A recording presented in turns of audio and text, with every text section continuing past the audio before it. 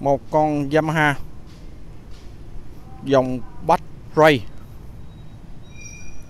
Và là trợ lực zin nguyên bản. Con này tình trạng là 95% là đồ nhôm. Và 100% là đồ zin toàn tập. Còn về ngoại hình thì à, theo mình đánh giá thì con này phải từ 90% độ mới đổi lên. Và nó là một con Yamaha đời mới nhất hiện nay, model mới nhất hiện nay.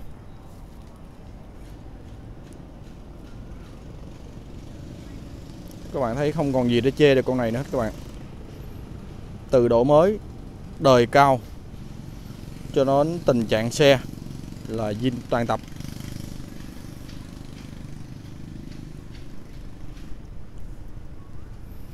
Dàn khiển LCD lại lớn.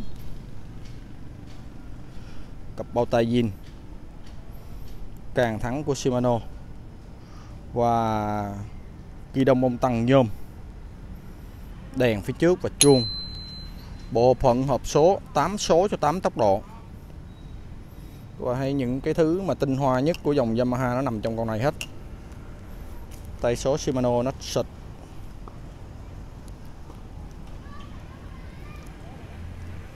baga zin các bạn thấy cái baga lần đầu tiên mình thấy cái baga kiểu này. Nó bắt từ trên ghi đông nó bắt xuống. Về yeah, zin phía trước bằng nhôm. Và các bạn để ý cặp phuộc của nó. Còn mới cứng. Vỏ ruột zin của Bright Gatton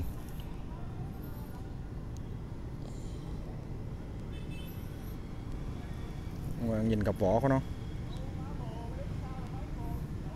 Niền nhôm. Và cam inox. Đây, phục có một điểm chày nha. Báo cáo rất rõ ràng với anh em. Những cái này thì đơn giản, mua đề can ịnh vô cái, xong, giữ nước sân zin. Vàng thắng đĩa, thế các bạn còn những cái miếng gan ti của nó luôn. Con heo dầu của Shimano. Đùm nhôm phía trước của Shimano và một cái cốt bẻ. Nghĩa là các bạn bẫy cái này ra là nó sẽ đi ra được cái cốt rất lẹ phụ bên đây. Vàng nước sơn nhìn hết. Bạn này kinh khủng con này phải nói là nước sơn của nó quá đẹp các bạn. Và mình cũng chưa chưa đụng hay con nào như vậy. Dòng cao còn mới như vậy.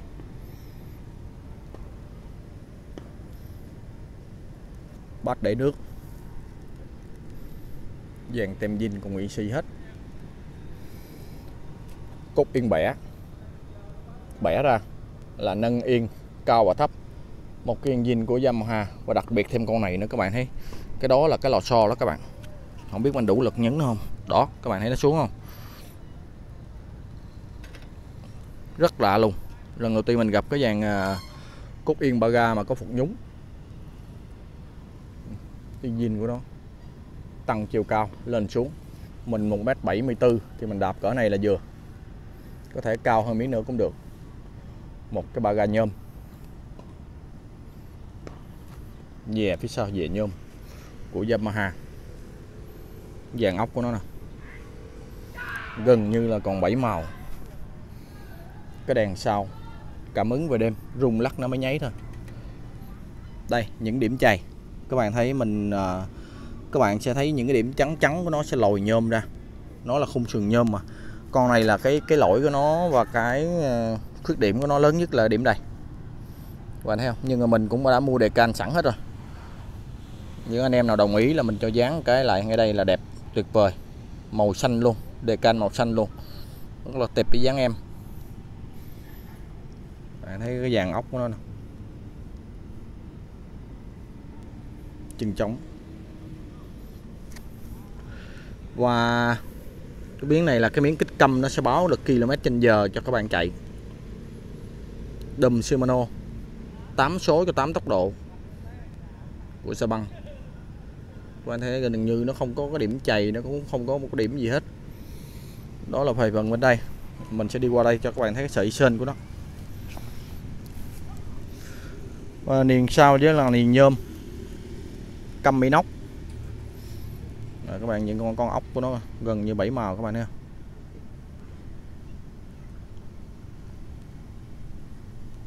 Con này càng nhìn càng thích, càng thắng của Shimano. Và cái vỏ ruột zin của Brigatan luôn. Và sợi sên nó các bạn. Các bạn thấy gần như mới và cái miếng tăng chạy trên sên là các bạn thấy không có sự mòn luôn. Nói là thằng khách này, thằng thằng mua chiếc xe này nó đi rất là kỹ nha.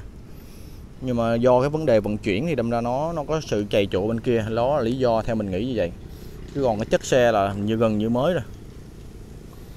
Đó đó đây, một miếng đề can mình đã dán ở điểm chạy nè, để cho các bạn thấy. Ở anh em nào mua hàng xa ừ dán giùm tôi. Mình sẽ xử lý bên kia luôn. Ở đây có một cái điểm chạy ở đây. Mình dán lại cái à, tệp màu luôn và giữ được nước sân dinh của nó. Một cái cặt te dinh. Chưa hàng, chưa bể. Đây, cái giò nhôm của nó, cái giò cái giò dĩa của nó. Cái dĩa trong các bạn thấy gần như bảy màu ha. Giò nhôm. Bàn đạp nhôm. Cái dàn mặt tiền là chưa hề chày một miếng nào luôn các bạn không chày một miếng nào luôn. Có cái chỗ kia theo mình nghĩ là, nó do cái à, vận chuyển về. Và cái dàn phuộc của nó các bạn nhìn này. cái phuộc của nó.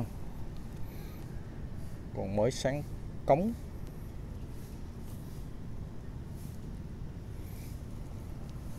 Rồi. Đó là cái bề ngoài cái cấu hình ngoài của chiếc xe này và đến phần pin sạc. Ừ, quên cái gì này nữa. Như ờ, mình thì mình không thích đi chòm. Thì mình để cái uh, ghi đông hoặc cái yên nó tương đối. Những anh em nào muốn đi chòm người hay là người dài người cao cao người á các bạn có thể giật cái yên này về phía sau xả con ốc này thôi. Xả cái yên này ra phía sau cái người các bạn sẽ chòm. Còn những anh em nào không muốn chòm thì các bạn cứ xả con ốc này ra tăng cái cổ đứng lên thì mình sẽ ngồi thẳng lưng không có chồm. Thiết kế ra để những anh em nào thích chồm mà chồm không thích chồm thì cứ thẳng lưng. Bởi vậy các bạn đừng có uh, quan tâm đến cái thằng Nhật này nữa. Về thiết kế của nó thì anh em mình không có quan tâm nữa tại vì nó tính hết rồi các bạn. Nó tính kinh khủng lắm. Và dòng Yamaha đời cao thì nó sẽ có hình thù cục pin như vậy. Mình đã giới thiệu rất nhiều trong các video. Riêng cục xe này riêng chiếc xe này sẽ có hai lựa chọn pin và sạc cho các bạn. Pin 8.7 dung lượng thấp, không phải thấp, nhưng mà tương đương khoảng tầm 45 cây số thôi. Nó sẽ đi với một cái đế sạc xám và giá sẽ khác. Và những anh em muốn đi đường dài, đường xa, muốn đi cho nó sướng, thì đi con 12.3 12.8 này. 12.8 này, với một đế sạc đèn dung lượng này là dung lượng gần gần như khủng hết rồi. và một đế sạc đen zin của nó. Đó, các bạn thấy 4A không? thì những cái dòng sạc đen này nó đẩy rất là là là mạnh. Tại vì do cục pin dung lượng nó lớn, đâm ra cái dòng đẩy của nó sẽ mạnh. Và những anh này như 2.1 hay 2 chấm gì nè. Ừ, 2 chấm. Ừ, sẽ đẩy những cái cục 8.7 vừa vừa thôi. Không nhất thiết phải mạnh riêng 12.8 này thì đẩy phải cần phải cục sạc lớn. Lốc máy nhôm. Và quên nữa, có nhiều anh em hỏi là, ủa, sạc zin pin zin hay không? Mình khẳng định là một điều là sạc, cho dù sạc pin dung lượng ít, vẫn là sạc zin và pin zin. Và dung lượng cao vẫn là sạc zin và pin zin nha các bạn. Không có độ chế vào đây hết. Riêng chiếc xe này riêng riêng dàn pin sạc như chiếc xe này. À, mình sẽ test chiếc xe trước đi. Các bạn thấy chưa chưa có điện đóm gì ha? Mình sẽ để pin sạc ở đây mình test cho các bạn. 8 số là 8 tốc độ như thế nào? Và chiếc này chạy sướng lắm các bạn ơi. Các bạn vừa mới ngồi lên một cái là cái yên các bạn nó đã nhúng xuống rồi. Cái yên cái yên của mình đang ngồi nè. Ừ, nó nhúng nè. Lần đầu tiên mình gặp trong cái ờ, cái cái cái chiếc xe mà cái phục nhúng nó nằm ở dưới yên. Cái ti nó rất là nhỏ nhỏ tới này thôi.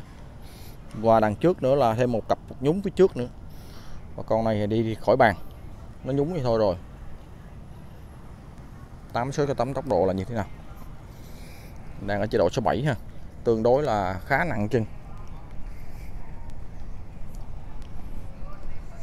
rồi ngưng cái chân lắc về số 6 nhẹ hẳn ngưng cái chân. Một nhịp, lắc về số 5 tiếp tục 4 các bạn để ý cái dòng tua chân mình nha. Coi nó nhẹ từ từ dần. 3 2 1 các bạn thấy 8 số và 8 tốc độ là như thế nào? Nó thiết kế ra để làm gì? Những cái số 1 2 3 nó rất nhẹ các bạn. Các bạn dùng để đi đường đường đường dốc, đường đèo thì rất là ok. Nha, mình sẽ tăng từ từ lại nha. Các bạn sẽ thấy liền, cái sự độ nặng thay đổi liền. Số 1 nè ngưng 2 3 4 5 6 7 8 số 8 là cái số sẽ nặng nhất và nó sẽ cho các bạn đi tốc độ nhanh nhất. Ừ. Và các bạn để ý cái phần à, lưu ý cái phần tại sao mình vô số nhả số đều phải ngưng chân một nhịp nó sẽ an toàn tuyệt đối cho hộp số các bạn. Các bạn coi lại video nè. Đang đạp đúng không? Ngưng cái chân. 6 7 6 5 4 3 đó. Các bạn ngưng một chân một nhịp thì chiếc xe các bạn sẽ không bao giờ gặp vấn đề gì hết. Và số 3 thời điểm này, mình đi số 4 đi. Mình sẽ lau cỏ với số 4 mà leo cỏ lấp sấp như vậy thì nó cũng đã nặng, rất nặng chân các bạn. Phải dùng lực ém xuống bằng đạp rất nhiều nó mới đi được. Phải dùng lực, một cái lực xuống bằng đạp rất nhiều chiếc xe nó sẽ leo qua được. Đó là một chiếc xe đạp thường. Mình leo qua cỏ để một hồi mình phân tích cái máy đẩy cho các bạn coi qua video nó dễ hình dung. Rồi bây giờ là lắp pin. À, quên nữa. Các bạn để ý à, nhiều anh chị em mới chưa hiểu. 8.7 A là cái gì và 12.8 A kia là cái gì? 8.7 thì nó sẽ là giống như một bình xăng 8 8 lít. Thì nó cho các bạn chạy 100 cây số. Thì một bình xăng kia 12 12 lít thì nó cho các bạn lớn hơn.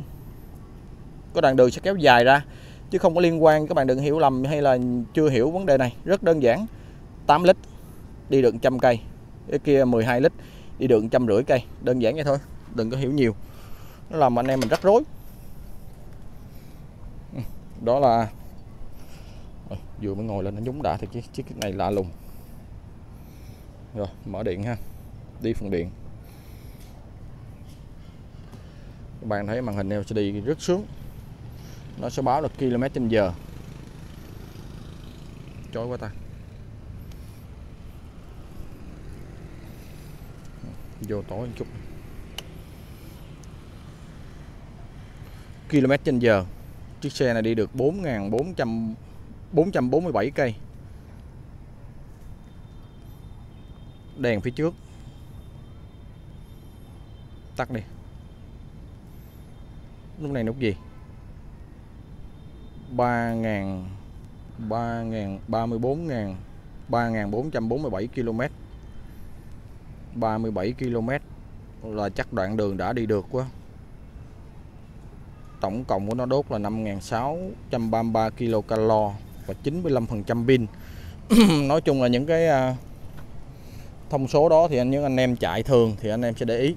Còn quan trọng, mình vẫn quan trọng nhất là cái phần trăm pin để hiển thị để kiểm tra được cái dung lượng pin nó đang còn bao nhiêu để sạc xả cho đúng cái sử dụng cục pin cho đúng cách qua cái phần trăm pin này. Các bạn còn 5 10 phần trăm các bạn lo đi sạc cho nó ổn định cục pin của mình thôi. Trung bình, tốc độ trợ lực nè. Trung bình nè. Thấp nhất. Trung bình và mạnh nhất. Rồi, mình để chế độ mạnh nhất ở tốc độ số 4 hồi nãy mình leo qua cỏ, hơi khó khăn đúng không? Và một lực nhấn xuống bàn đạp. Các bạn hãy tự động cái xe nó búng đi liền. Không cần lực nhiều nhé các bạn. Ừ. Một lực nhấn xuống bàn đạp. Ừ, các bạn thấy rất nhẹ nhàng chiếc xe nó búng mình đi. Và thời điểm này hồi nãy số 4 là các bạn thấy là nó rất nặng nề. Bây giờ các bạn thấy số 4 của nó là giống như là không đạp luôn. Nó máy đẩy nhiều quá.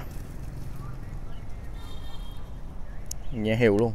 Thì đó gọi là trợ lực, phải có một lực xuống bàn đạp, máy tự động nó đẩy mình đi. Và đóng cỏ hồi nãy mình đi, đúng không? Thời điểm này các bạn thấy mình nhấn nhẹ, tự động đi. Nhấn nhẹ nhẹ. Máy đẩy các bạn đi hết rồi. Thì các bạn gặp những chướng ngại vật như lên cầu vượt, hay là đường địa hình, đèo dốc gì đó, thì các bạn thấy nó không còn là gì nữa hết. Nó rất nhẹ nè. Trường hợp này thì một, là các bạn xả trợ lực về. Hai là các bạn điều chỉnh số phần tăng số giảm số ở đây. Và mình sẽ đi qua một đống cỏ rất cao luôn cho các bạn thấy. Coi máy đẩy sướng cỡ nào. Và con này nó mạnh như thế nào. Ha, mình đạp không như gần như không có chớn. Nhưng mà một lực sấn nhấn xuống bàn đạp xe tự động đi. Các bạn thấy cỏ cao thiếu điều là qua bàn đạp của mình luôn. Các bạn thấy những dòng địa hình như vậy chạy không? Nhấn nhẹ xuống bàn đạp là tự động đi thôi chứ không có nói nhiều không có dùng sức. Ừ, lá cây nè dày gần 20 phân. Đó đó. Đi qua những cái điểm nhúng đó. À để mình test cái phục nhúng. Phục nhúng con này khá ngon. Phục trước rồi thêm cái phục yên nữa. Các bạn để ý cái phần phục nó nhúng nha. Nó sẽ không thấy không thấy đó. Không thấy dấu hiệu của nhúng luôn. Nó dồn lên cái à, phục trước và cái yên rồi. Thời điểm này thì đạp rất nhẹ. Tăng số. Tăng số tăng số tăng số. Rồi, số 8 là số sẽ là nặng nhất và mình sẽ đi tốc độ nhanh nhất cho các bạn thấy. Với cái đoạn đường này thì không đủ đâu các bạn thấy số 8 nặng, rất nặng, nhưng mà bây giờ mình đạp nè. Đi tốc độ của nó sẽ là lên trung bình khoảng là 20 cây số một giờ. Với cái đường vắng vắng thì có thể lên được 30 cây. Nhưng mà đường ở công viên nó nó không có đường dài, mình không có thử được chiếc xe.